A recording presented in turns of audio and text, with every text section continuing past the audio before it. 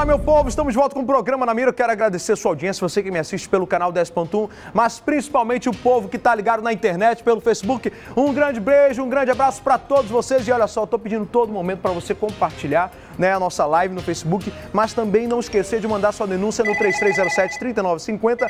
Liga para cá porque você fala ao vivo. Se você quiser, manda sua denúncia por WhatsApp, que é muito importante. Nós vamos para a primeira de hoje. Traz para cá, vem para cá, baixinho. Coloca na tela aí para mim, por favor. Bom dia, Luiz. Gostaria de fazer uma denúncia. No Beco São José, aqui no bairro de São Francisco, está uma verdadeira cracolândia. E vagabundos usando drogas toda hora. Não respeitam os moradores de bem. Quem vende droga à noite é a famosa Branquela e o seu marido vagabundo. Queremos ronda constante aqui no beco. Socorro, Luiz. Olha aí, né, a denúncia do pessoal que mora ali no bairro de São Francisco, que não é longe daqui não, meu povo. Qual é a área de lá, minha, minha, minha diretora? Cheyevna hoje que está substituindo nossa querida Narita, né? Narita que está com conjuntivite. Quero mandar um grande abraço para Narita, minha diretora estourada. Olha só, minha gente. Tá aqui o nome do beco.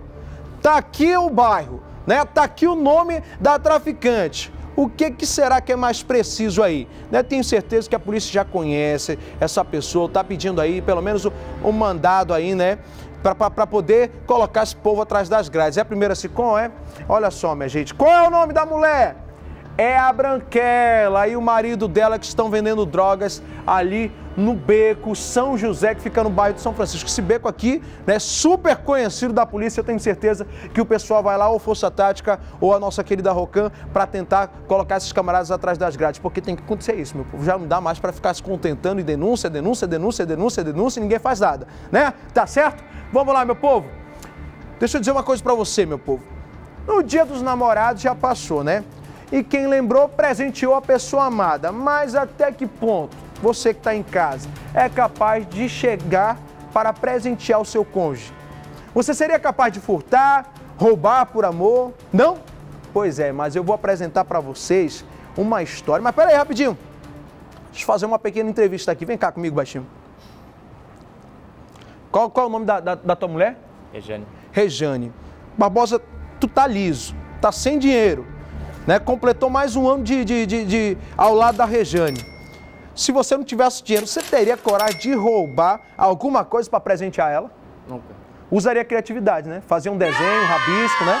Tá certo. Vou, vou, vou, uma frase? Uma frase, tá certo. Aqui o Rui, né? O galanteador, o homem da noite. Se tem alguém que conhece de mulher, é o Rui Mendes. Nossa. Rui Mendes, dois anos de casado. Então, Eu sei que tu não tá casado, tu não é homem de casar, né? Então é o cara que, que curte a vida.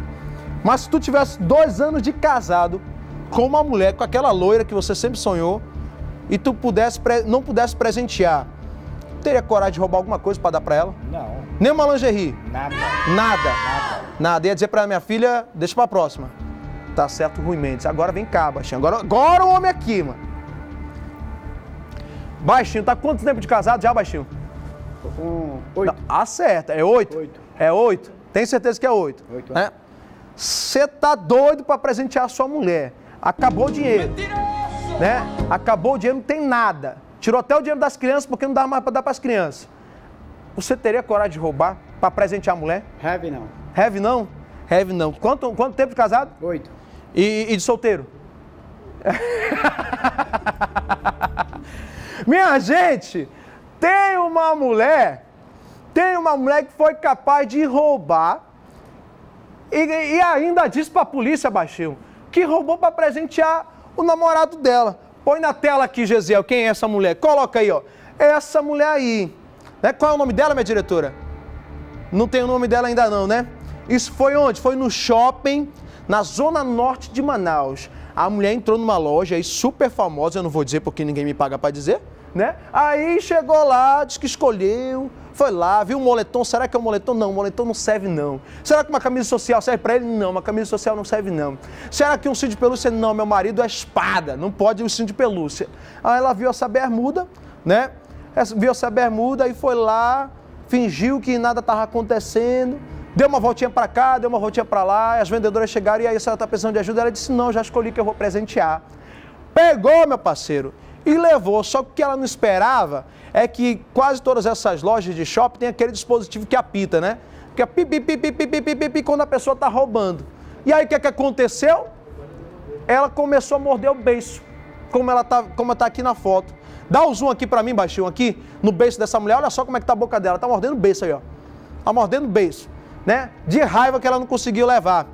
Né? Aí eu fico me perguntando, até que ponto essa mulherada de hoje em dia é capaz de chegar para me fazer uma coisa dessa?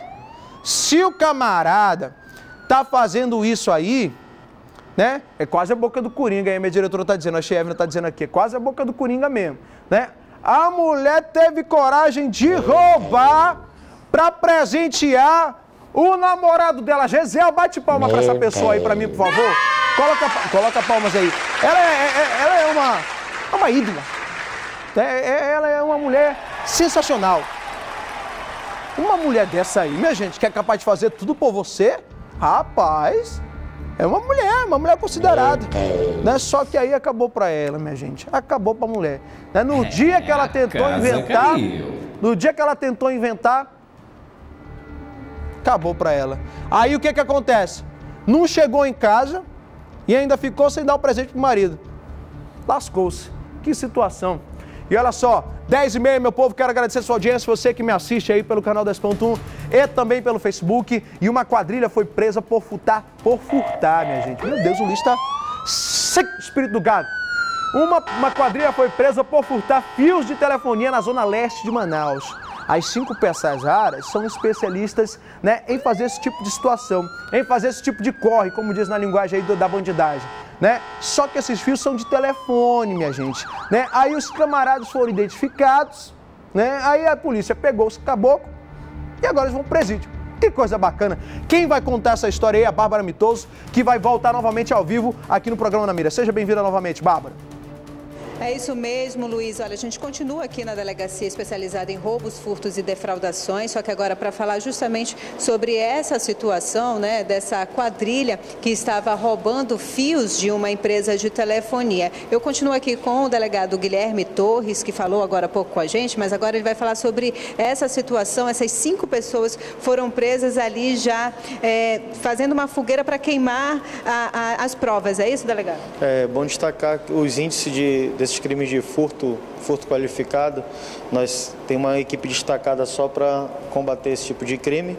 De janeiro a agosto, comparado com o mesmo período do ano passado, houve uma redução ali na Zona Norte de 27%, 27% na Zona Oeste 26%, na Zona Leste 17%.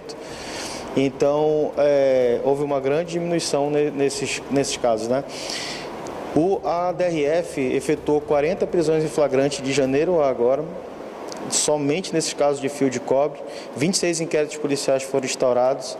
É, o prejuízo das empresas já estava em torno de meio milhão de reais. E além das empresas, tem os usuários, porque cada, cada fio desse pode ser um metro que ele for cortado, ele fica em média 300 usuários ficam sem o, é, linha telefônica. Então as equipes se deslocaram e isso se dá também ao, ao, ao confiança que a, que a população deposita denunciando a 181 as equipes foram até o local no momento em que os assaltantes estavam fazendo uma fogueira para derreter aquele fio, aquele fio que ele, todo fio de cobre ele é encapado com plástico, então eles derretem e vendem. Ah, o quilo é vendido a 17 reais. Então foi feita essa prisão, foram flagranteados por furto qualificado e encaminhados à audiência de custódia.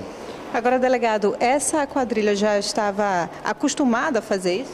Olha, eles são, eles, é, na verdade, eles retiram essa, essa fiação porque eles não têm a ideia do prejuízo que, que causa, né?